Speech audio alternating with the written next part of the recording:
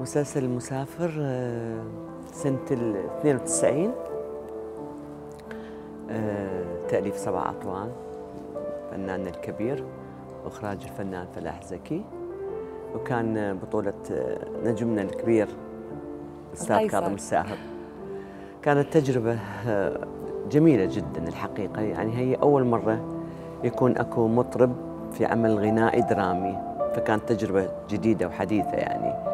وأيضا كان بها نجوم كثيرين يعني من ضمنهم آه، الراحل عبد الجبار كاظم والراحل عز الدين طابو الأستاذ حكيم جاسم وفاء حسين أستاذنا الكبير الله يرحمه خليل شوقي فنانتنا سهير أياد كثير كثير الحقيقة أستاذ كان زهرة. كان أول دور للفنان كاظم. الساهر إي أول دور وبعدها ما كرر التجربة يعني هو ما كان بوده بعد يكرر التجربة بس يعني الحقيقة كانت تجربة جميلة. هو آه، يعني فنان أسامي آه، اجتهد بهاي الشخصية ودخل دورة تمثيل يعني بسيطة مكثفة وكان أكو انسجام يعني كبير بيننا وبينه. حلو. إيش تتذكري من لقطات أو أشياء صارت بضمن الكواليس التصوير؟ هو أهم شيء كان ال- ال- المكان اللي صورنا به وأنا.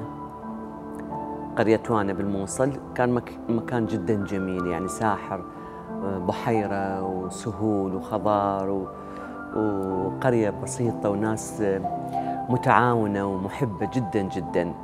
آه، يعني كانت أجواء جديدة علينا الحقيقة. يعني كانوا سعداء بينا وكنا سعداء بهم آه، الحقيقة يعني مواقف يعني ما تسعفني الذاكرة لكن آه، كان عندنا هناك توقفات كان فنان كاظم السهر عنده سفر. وبس ما توقف العمل يعني كنا نصور وننتظر عودته. آه، الشخصية بالنسبة لي كانت آه، خلينا نقول جديدة إلي يعني علي. أنا أعتبرها محطة مهمة في حياتي المسافر. يعني هناك محطات في حياة الفنان مهمة جدا.